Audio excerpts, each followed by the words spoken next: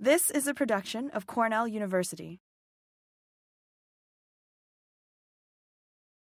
Thanks so much to Don and for everybody here uh, and also in Geneva. Look at that turnout in Geneva. Thank you guys so much uh, for coming out all the way. Um, I, I, just want to reiterate something that Don said that this is a truly fabulous award, and um, I think anybody who has any interest in doing travel after they graduate or can think of um, a project that involves travel as part of your of part of your graduate uh, education, I think it's uh, a really fantastic opportunity. And uh, I was personally very excited to get this. So um, I'm also really excited to talk to you today about my experience in Tasmania. So where are we going? um, we are going to Tasmania. And I'm going to start by introducing my research a little bit to give you a little bit about context about why I even went to Tasmania to begin with. Um, move into an introduction to Tasmania, kind of give you a whirlwind tour through pictures of the state, uh, and then talk about the research that I did in Tassie. Um, and then hopefully at the end, I'll have time for some questions. And the pictures that are accompanying the slides aren't always completely uh, topical about what's on the slide, but I, you know, it's hard when you have so many pictures and you want to show off uh, the beauty of a place. So enjoy the pictures and also try to look at the uh, data that's on the slides if you can. um, so I'm going to start off by talking about sour rot. And this is the disease that I work on uh, as part of my PhD project. And when I arrived at Cornell in 2013, uh, sour rot was a very poorly understood disease. We didn't really understand what caused it, how it spread, um, where it even was in the world. But we did know that it typically develops on uh, tight clustered, thin skinned varieties of grapes. We start to see a discoloration starting at about 15 Brix. And then, really, the characteristic of the disease is that we smell vinegar really emanating from these clusters. Um, wounds appear to exacerbate the rot, and then we start to see damaged berries ooze, and we see Drosophila or fruit flies swarming around the clusters. And uh, so far, we've seen it in New York, Ontario, Oregon, Washington, California, and then also reports of it in France and Portugal. And you can see here, this is a picture of sour rot on uh, Pinot Noir. And Spoiler alert, this is from Tasmania, so it turns out I did find it there, which uh, was very good for my research. This is a particularly disgusting picture of sour rot. Um, if, if you leave it alone and let it do its thing, and I'm sorry for the horticulturists in the room, the pathologists, we just love this kind of stuff. So this is truly disgusting example of, of sour rot. So some of the questions that I've asked as part of my PhD research are what are the identities of the microorganisms that cause sour rot? What is the epidemiology of the disease, what is the role of vinegar flies or fruit flies, and then also, is sour rot found in other cool climate viticultural regions, which is what brings me to Tasmania. So where is Tasmania? So I was asked a lot of times uh, if I was going to Tanzania, and no, in fact, I did not go to Africa. I went to Australia. Um, and so Tasmania is this nice little state down here at the bottom of Australia. Um, and it is very much unlike the rest of Australia in a lot of ways. Um, so kind of form a picture of what you think of of Australia in your mind, and then I'll venture into some pictures and you can see the contrast. It's just a very different um, place than the images we have in our mind of kangaroos bouncing through, you know, Ayers Rock or uh, Uluru in the background. Um, just a very different place. And so here is the state of, uh, of Tasmania. And down at the bottom, we have Hobart, which is the capital, which is where I was primarily based. And the other major city in the state is Launceston, which is up in the northern part. And uh, I'm going to kind of give you this is your whirlwind photo tour of the state. So we're going to go in this counterclockwise fashion, um, and you'll get to see some beautiful shots of of the state and um, hopefully kind of give you a taste for what Tasmania looks like and uh, just kind of give you this, this feeling for the place that I tried to get over my five months there. So starting out just east of Hobart here, um, dolerite is the type of rock um, that forms these amazing formations, and it's actually a type of igneous rock. Um, it's made of, it was magma that rose out of the center of the earth when Tasmania was separating from Gondwana. So this was a really amazing kind of event, obviously, in the history of our Earth. And when Tasmania was one of the last pieces to break off right before Antarctica broke off of Gondwana, and when it did, these massive formations literally came out of the center of the Earth and formed these coastline, these rock formations on the coastline that are like nothing else I've ever seen in my life. Um, just truly phenomenal, and uh, just you know covering these coastlines. You can see them in the background. Um, and you can also hike out on top of them. Um, there's like Tasmania is a is a state that I mean it's an it's an island, right? So water dominates everything around it, um, but just this vastness of um, very few people actually living there. There's only half a million people on the entire island, and this really vast space and completely gorgeous beaches.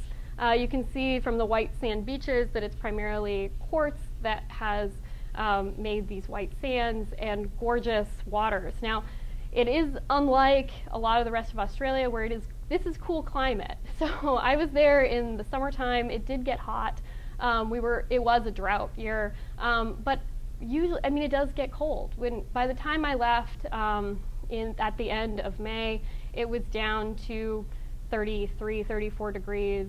Uh, we got a frost I mean, it was uh, it was cold, and so not really what you would think of normally when you think of Australia. So this is the northeastern coast. We're kind of moving up towards Launceston at this point, and uh, this is the type of unbelievable land formations that you see when you go out hiking uh, mountains and on also uh, these white sand beaches. And uh, this is the first of a few isthmuses that I'm going to show you photos of. Uh, and so the, the kind of bay on your right is called Wineglass Bay, uh, and just a really picturesque setting. Um, and again, with these unbelievable rock formations. And some of this, you know, a lot of the, the landscape of Tasmania was formed um, through a lot of periods of glaciation.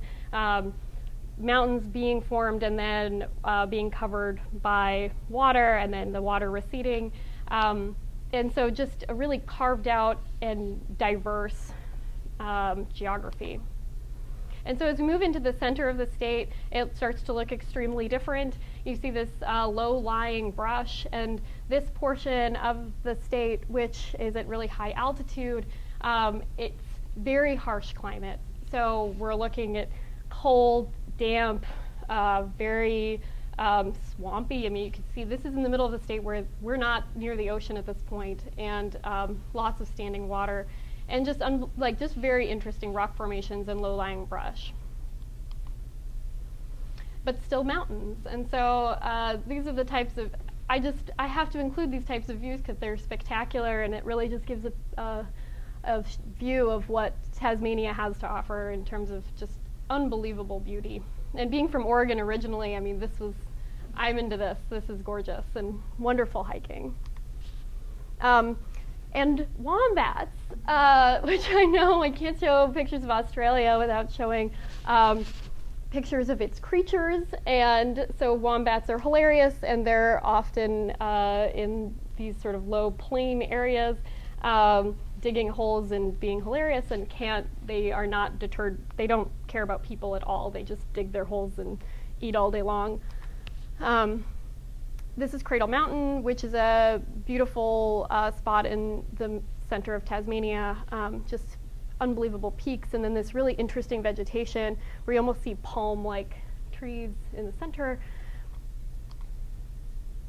And as we move uh, kind of into the southwest part of the state um, this is all World Heritage Area, and so really you, this is all park land. There's no one who lives in this part of the state at all. It's all um, really uh, like a pretty amazing hiking trails, backpacking trails, um, and uh, this part is a dammed area uh, which has formed this lake.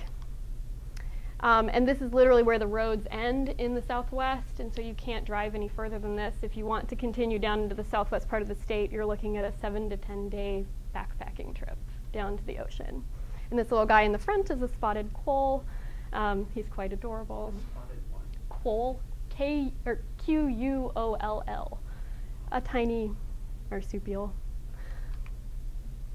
Um, and then as we head back towards Hobart, we start to see just a really stark change in vegetation, almost jungle-like, um, with palm trees and huge ferns. Also, um, dolomite caves, not dolerite, but dolomite caves are pretty prevalent.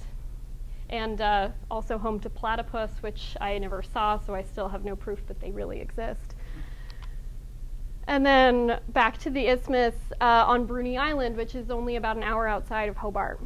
Um, and just some, this is where Captain Cook originally arrived when he uh, came to this part of the world, um, and just spectacular views. And just to reiterate, Tasmania is cold for a lot of parts of the year.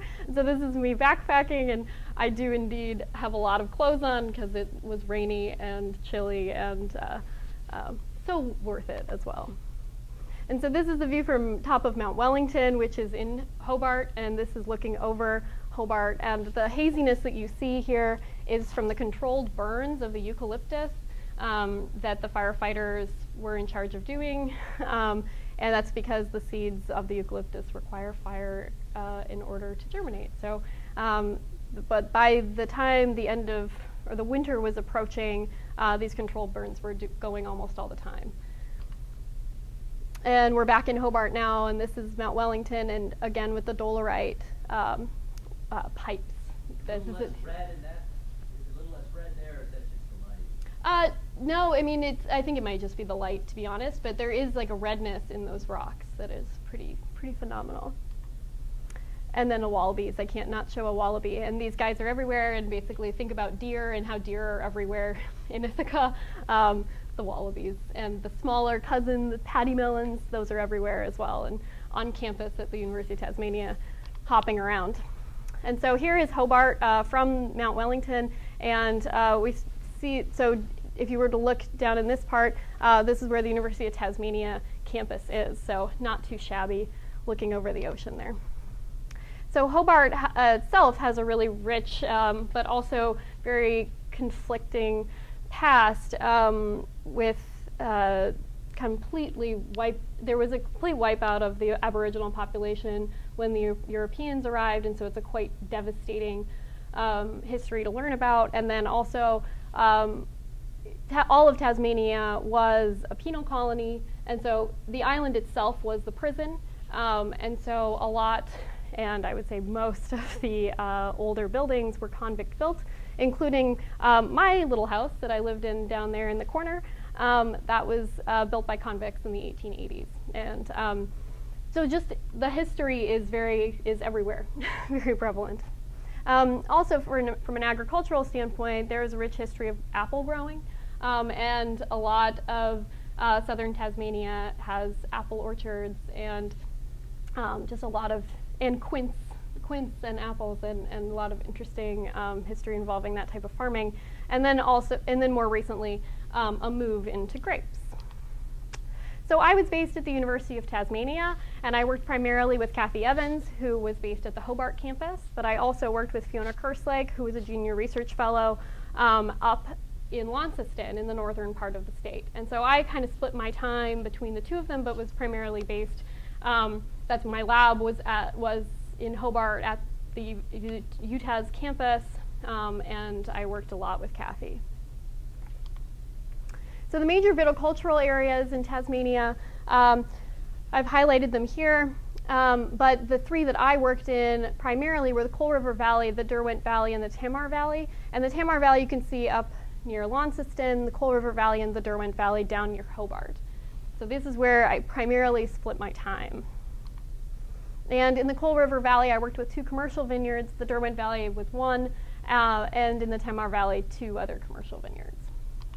And this was all organized by Fiona and Kathy, which I was just so grateful that they were able to do some groundwork for me.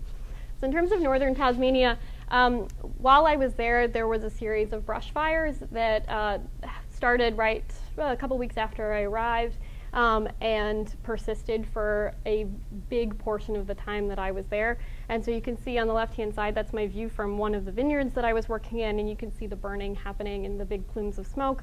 And then this, uh, the orange skies at night in Launceston were from the brush fires as well. And though there was a lot of conversation about smoke taint and how it would impact wine quality, um, there was a lot of research going on at that time um, by Fiona actually uh, about how the brush fires were going to impact the wine quality. So I don't know, I haven't heard from her lately, but I had heard that people were feeling pretty hopeful about it, that there wasn't a lot of damage to the grapes um, in the end.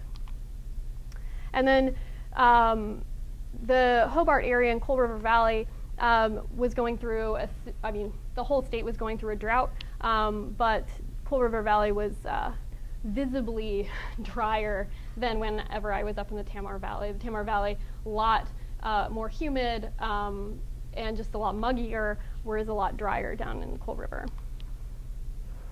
And um, from a viticultural standpoint, I mean, viticulture um, in uh, in Tasmania looked looked very familiar to me. there wasn't a lot of differences in terms of training systems or trellising.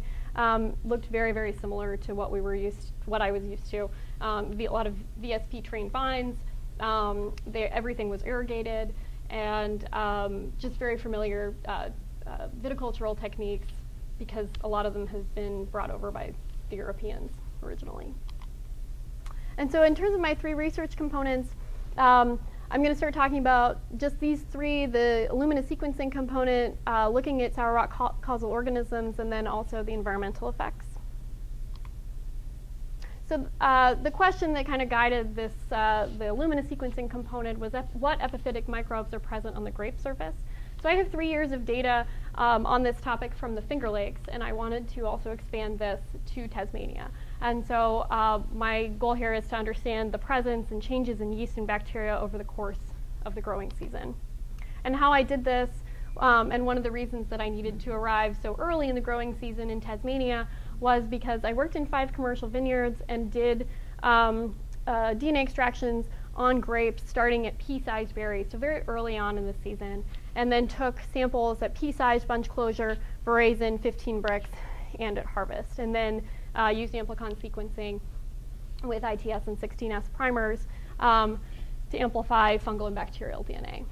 So um, it was a, it's a huge project, and unfortunately, because of it being a big project, I do not have data to show you on that, but it is going into a very large paper um, that we are we're working on, and um, I'm excited that the research from the DREER is going to go into a paper that will be um, out next year. So, well, I see Lance over there, so fingers crossed that it'll be out next year. So. The next question that I wanted to answer is, is sour rot found in Tasmania? And obviously I already uh, answered or spoiled it for everybody. And yes, it is in fact found in Tasmania. Um, this is an echidna, by the way. And he was hanging out in the vineyard and amazing, so cute. Um, so in terms of sour rot incidence and severity, um, I took uh, incidence and severity ratings every five days until harvest um, at a commercial vineyard in Hobart. And this was just, uh, it was a vineyard uh, actually that my husband was working at at the time. Um, and he said, hey, we have sour rot here because fortunately I have trained him very well to recognize uh, sour rot symptoms. Um, and so I went out there and every five days I took uh, disease and incidence ratings. Um, and here are some of the examples of the fruit that I found from there. So, and uh, if we look at those incidence and severity ratings, we see an exponential increase in the uh, amount of disease in this field. And you know, part of this is that there is so little education um, of these sorts of disease on these sorts of disease symptoms, and also there are very few um, tools available uh, to growers for sour rot um, partially because there, there aren't uh, any real labeled products for it, especially not in terms of insecticides, so there's nothing to target the Drosophila. So once the disease starts, um, it progresses exponentially. And we really see this is a, a huge amount of disease um, to the point where the grower really was dropping the fruit on the ground um, underneath of the vines. And I tried to, part of the education was telling him, don't uh, drop the fruit under the vines because uh, if the disease being spread uh, by Drosophila, the Drosophila are going to continue breeding in your grapes and then go up into the canopy and spread it more, which is exactly what it did. Um, and uh, so it was an educational process for me as well, just to know that uh, you know these are the types of um, measures that needed to be communicated as well. Remove that fruit from the vineyard, get it out of there. Don't let it sit underneath those vines and continue spreading the disease. Um, that's a Tasmanian devil, uh, just in case you guys were wondering about uh, whether they were there. They are indeed. Um, you can talk about them for two seconds and then get back to science. Um, that they, uh, somebody asked me about this earlier, um, so they do suffer from a facial tumor um, that uh, has been devastating their population in Tasmania, but there are several breeding programs which have been very successful at reintroducing um, uh, resistant devils uh, back into the wild, and they've been doing really, really well. They've had huge success, and actually, um, I saw one while uh, backpacking um, out on an island. One like wandered up to the campsite and was a little too friendly for my liking, but um, yeah, so they are there and they're very cute. Um, so uh, we, one question we really wanted to know about sour rot was are uh, there the same causal organisms for sour rot in Tasmania as there are here? Um, and basically what we know about that is that we require yeast and bacteria and fruit flies in order to cause sour rot. And was that the same answer? As, or are those the same causes as in Tasmania? And so what I did was I washed, took a wash of three berries on each of 10 clusters from six vineyards, um, played them out, and then uh, sent two reps of each for sequencing. And what I found was very encouraging. So yes, these are very consistent with what we uh, what we see in the U.S. and in the Finger Lakes, is that yeast um, is present in very high quantities, um, as well as uh, acetic acid bacteria, which is what we had been crossing our fingers for, um, but also we found. So we were very, very happy to see that uh, the yeast and bacteria were present in the samples, and that these are the same um, these are the same species that we see here in the Finger Lakes as well. So no big surprises, but also very exciting to see for the first time that we can tie uh, the sour rot in Tasmania to sour rot here. So in terms of environmental factors, um, we're, we were looking at whether we um, could put some hobo data loggers out into the field and take measurements every 10 minutes for uh, 11 days and track uh, temperature, dew point, relative humidity, a whole bunch of environmental factors and see if we could uh, correlate them with sour rot symptoms. And what we found at that same um, vineyard in um, outside of Hobart, where I had the uh, very high levels of incidence and severity of sour rot, is that I was uh, able to correlate um, maximum daily dew point uh, very well with uh, my severity ratings, um, which just meant that it gave me a jumping off point to when I returned to uh, the Finger Lakes that we could further study the um, like further study temperature and relative humidity, and maybe there was a correlation there that we wanted to look further at. Um, and uh, kind of conversely, uh, in another vineyard where I suspected there would be sour rot, but there didn't end up being any, we saw that opposite uh, trend. So there was a downward trend of maximum daily dew point. Um, and this was sort of just a jumping off point for us to delve deeper into the environmental conditions um, that would be uh, causing susceptibility.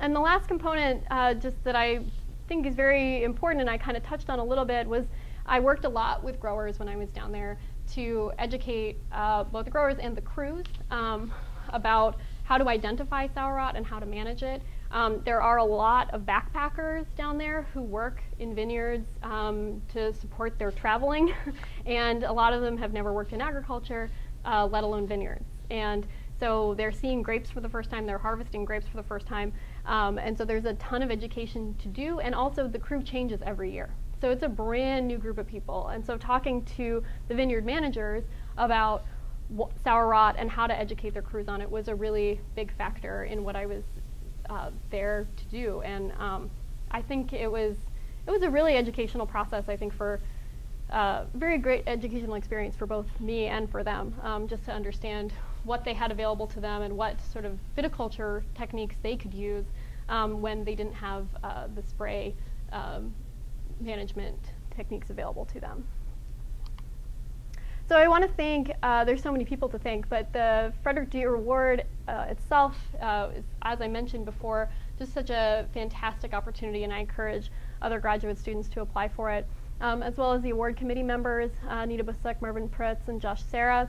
Um, my uh, collaborators at University of Tasmania, as well as Tasmanian grape growers, and the ones I uh, listed here were um, the vineyard managers primarily at these various uh, wineries and vineyards that I worked with, and of course my PI, Wayne Wilcox, for allowing me to spend six months to go to Tasmania. And I feel like I really brought back a lot of very valuable data um, that we're going to be able to put right into papers. So looks looks good for everybody.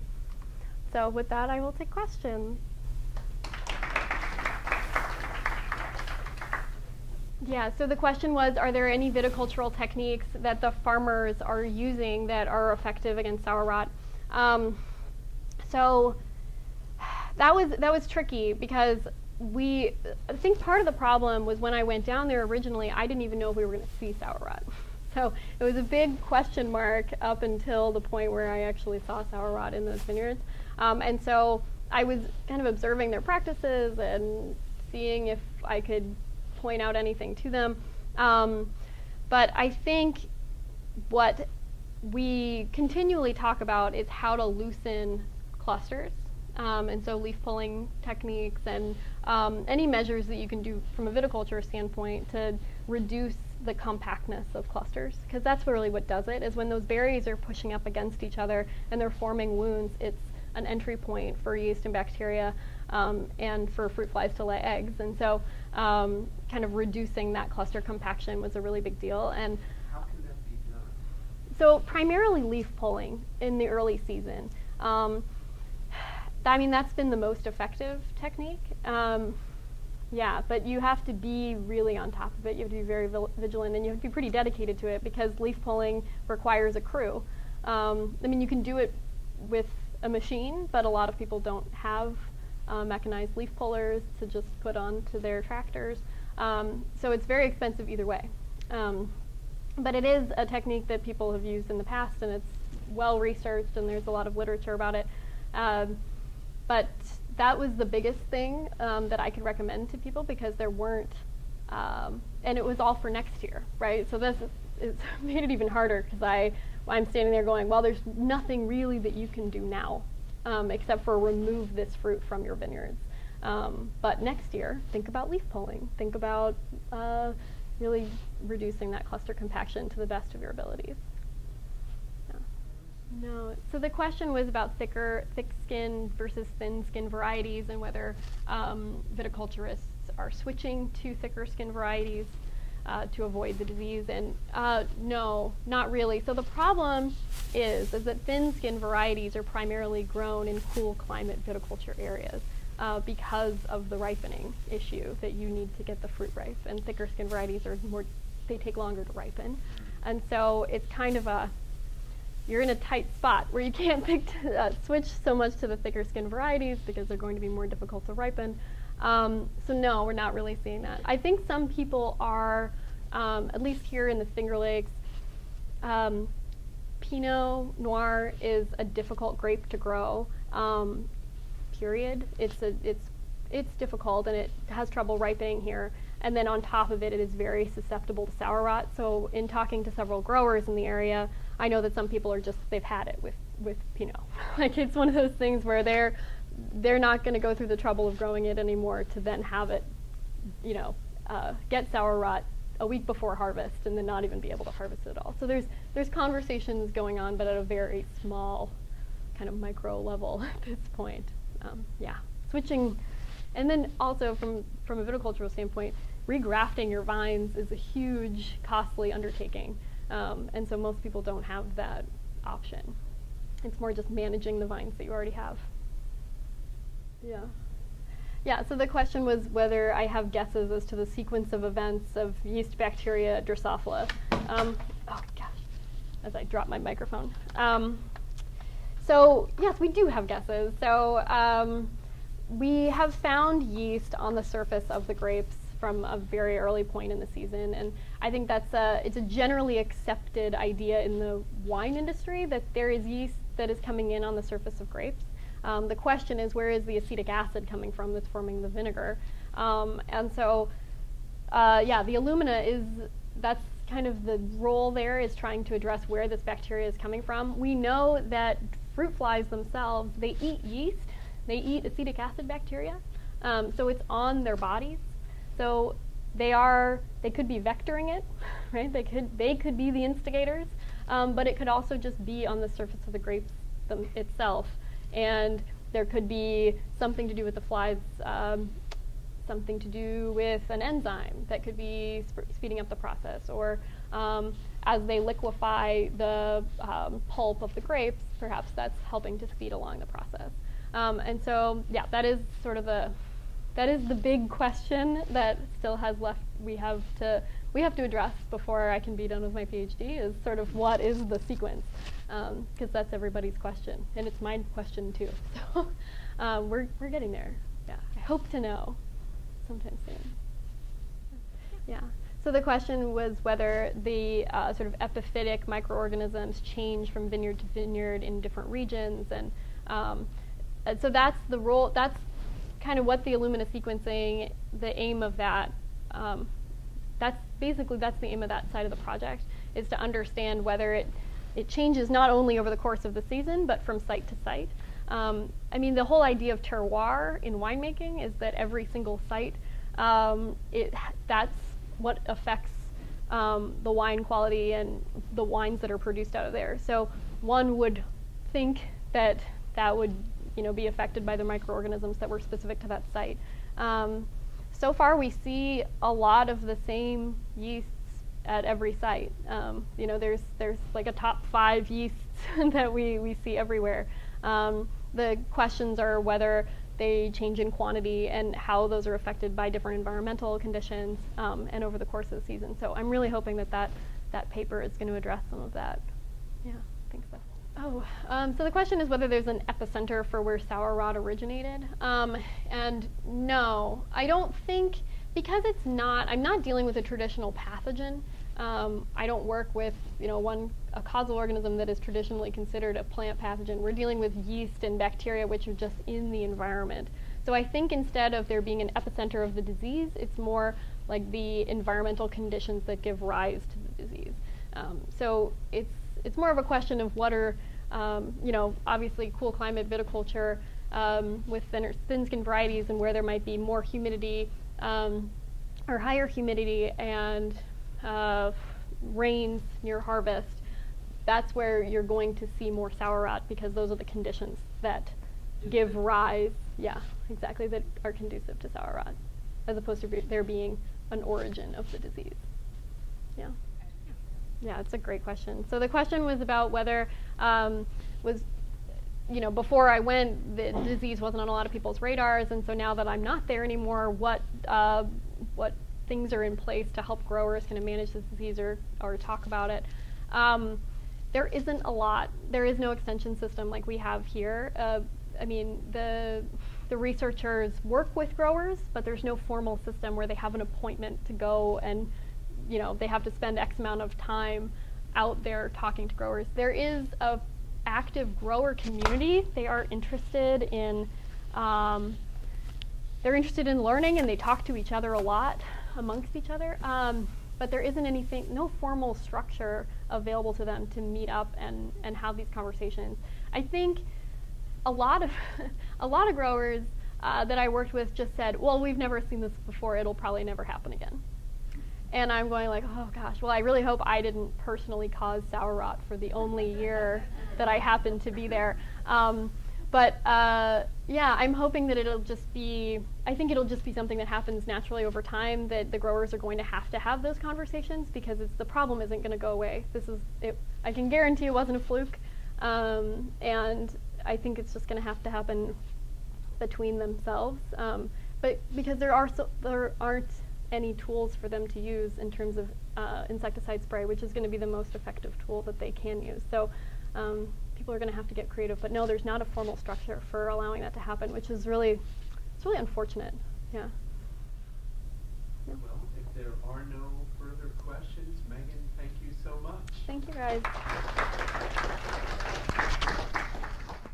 This has been a production of Cornell University on the web at cornell.edu.